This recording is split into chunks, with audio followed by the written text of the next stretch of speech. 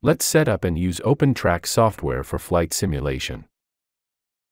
First we'll grab the latest OpenTrack release from the GitHub page. So, let's head on over to the page now. Of course, all the links are in the description if you need them. The releases page is where we can get the most up-to-date version of OpenTrack. Make sure it's tagged with latest.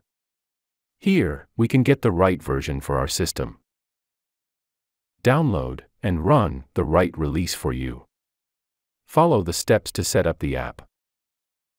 Once the app is started, we can configure it to use the Neural Net Head Tracker. Click Start to begin the head tracker. At this point, you will want to tune the response curves and options to get the result you need for your own best experience. Use the preview window in OpenTrack to get the tracking stable. Then do further testing in the flight simulator to fine tune it.